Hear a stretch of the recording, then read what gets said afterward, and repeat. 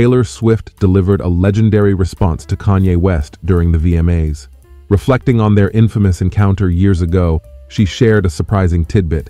Kanye's album College Dropout was the first album she and her brother bought on iTunes when she was just 12.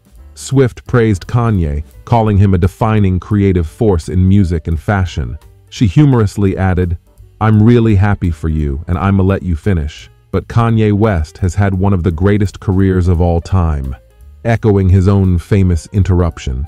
Swift's playful nod to Kanye's past antics was a highlight of her acceptance speech. Her ability to address their history with humor and grace showed her confidence and creativity.